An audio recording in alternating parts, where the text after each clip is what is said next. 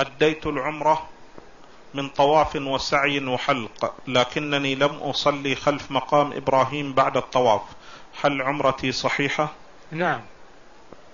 العمرة طواف وسعي وحلق أو تقصير هذه أركان العمرة فإذا أتى بها تمت عمرته. وأما الصلاة